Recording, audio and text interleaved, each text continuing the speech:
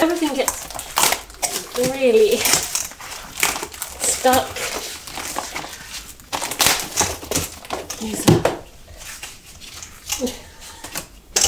these are my gloves that, um, and I, I use the same brush over and over again so it becomes completely unrecognisable as a brush.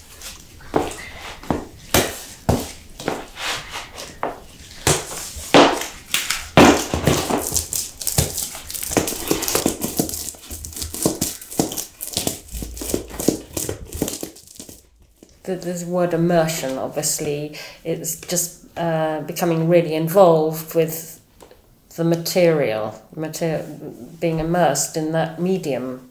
Total immersion and starting to understand it. Understand its philosophy and understand its personality and being able to actually um, move with it work with it and allow yourself to enter into its own experience all that lovely. Ooh, look at it. Um, it's very, very inviting. I think I was looking for a way of expression that involved something really um, gorgeous. I really wanted something that was a above and beyond an ordinary experience. Then I went through the process of imagining something that would be gorgeous and round in a going round a hardware shop actually literally um, finding the right ingredient that would fit what I was what was happening in my head. I hadn't ever heard of this bitumen or um, tins of tar being sold as such. I mean, I saw the had seen the tarmac on the road, and it just fitted what I wanted to deal with, and had the right feel to actually use and work with.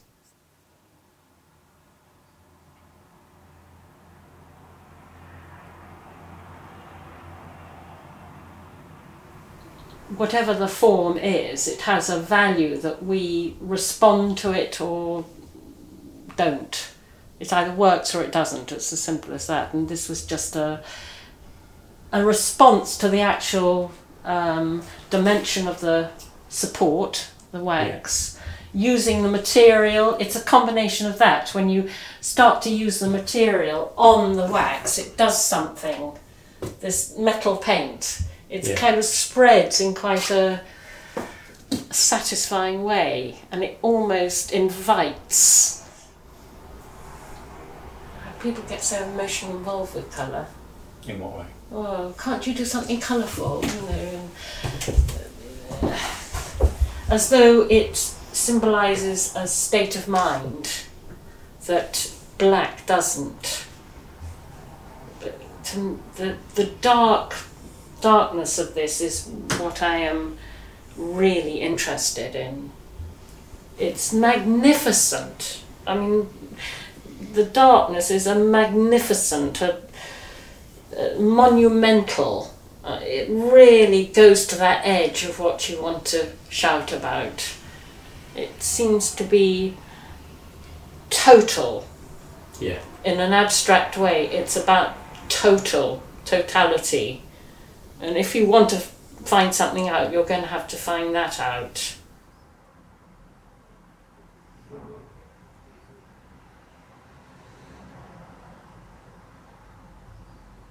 Drawing was my great starting point. I, for two years, I drew natural forms solidly. Very tiny snails, shells, and almonds, and tiny, tiny things, flowers.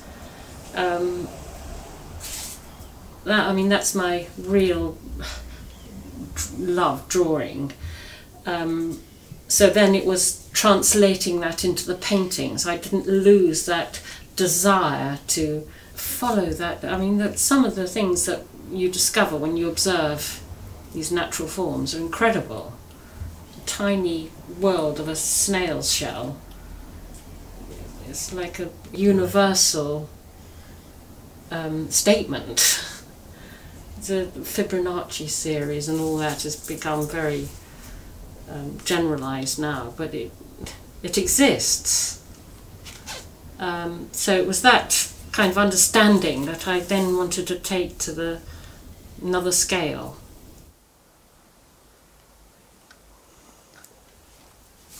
So I think if you're going to be messy, you have to be incredibly fastidious about the edges.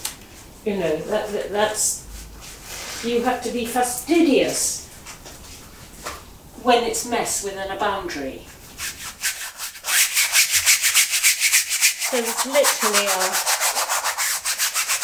a technical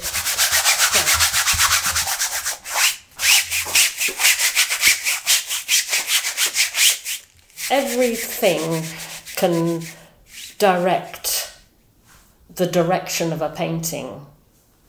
Everything feeds into it the paintings you've done before, the amount of material you've actually got, the amount of time, the mistakes. There are so many factors that um, you have to weave your way through to the eventual um, discovery of the final painting. It's almost impossible to, to know at the beginning this painting is going to be this. And one has an affinity for the material. That is a given. One has an idea that one wants to explore form. That is a given. Then you have to enter into this area of unknown when that's when things start to happen.